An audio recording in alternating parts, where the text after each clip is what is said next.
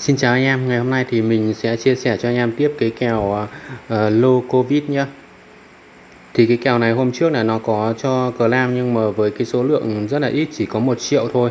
Nhưng ngày hôm nay thì nó đã cho cờ lam là được 5 triệu nhé Nó kỷ niệm uh, 10k ví hâu nên là nó tặng cho anh em là mỗi một lần cờ nam là được 5 triệu. Thì những ai mà hôm trước đã cờ nam rồi thì hôm nay vẫn cờ nam bình thường được nhé Đó và ở đây thì nó có thông báo cái ngày nít sàn của cái sàn coin Tiger nhé đấy đồng coin này sẽ nít sàn coin Tiger vào ngày 14 tháng 9 nhé anh em có thể lên cái trang Twitter của coin Tiger để tìm kiếm hoặc là lên Twitter của cái, cái Locovit này ở trên trang của nó thì nó có đăng tin đấy nhé đó và chúng ta sẽ cùng xem cái nội dung của nó dịch sang bên này nhé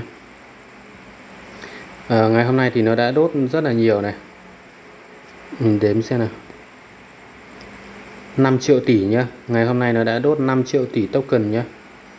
Đấy, và bây giờ tổng cộng 30% CVD 19 đã bị đốt cháy trong khi quá trình đốt cháy tự động vẫn đang diễn ra nhé có nghĩa là nó vẫn đốt tiếp ý. cái kèo này thì nó càng đốt thì đồng coin nó càng khan hiếm thì giá trị của nó lại càng tăng lên.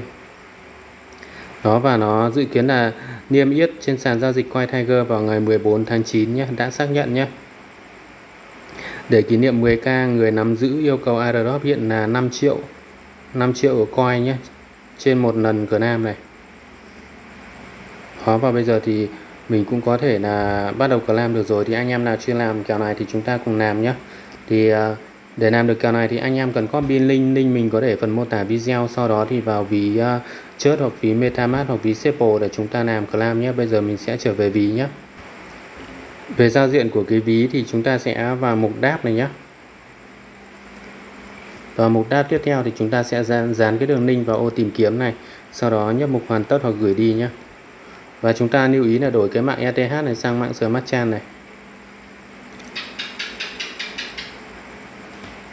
Đó và bây giờ thì chúng ta có thể là nhấp vào mục cửa nam nhé chúng ta nhấp vào mục kết nối này.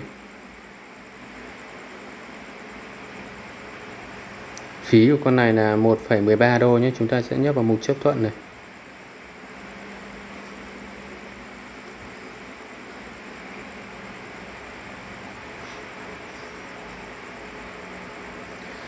À, tiếp theo thì chúng ta sẽ copy cái con trách của nó nhé để chúng ta bật hiển thị lên. À mà con này không cần phải con trách nữa. Chúng ta về ví sau đấy thì nhấp vào cái mũi tên đảo chiều góc trên này nhé.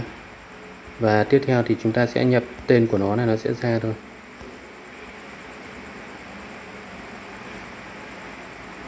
Đó. Chỉ cần nhập chữ CVD này nó sẽ ra nhé ra đúng logo CVD 19 và BEP 20 thì chúng ta sẽ bật cái nút này xanh lên để nó hiển thị coi trên ví này.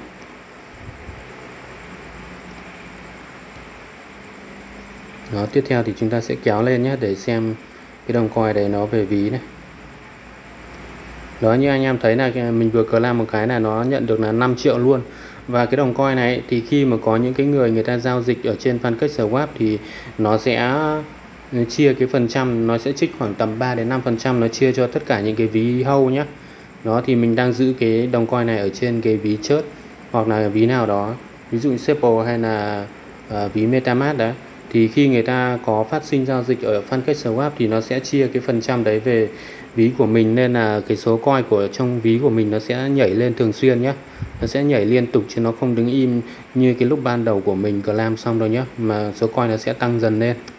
Đó, thì cái video hướng dẫn anh em ờ, làm tới đây là kết thúc nhé thì chúc anh em sẽ kiếm được nhiều tiền từ cái kèo này nhé cảm ơn anh em đã theo dõi video của mình nhé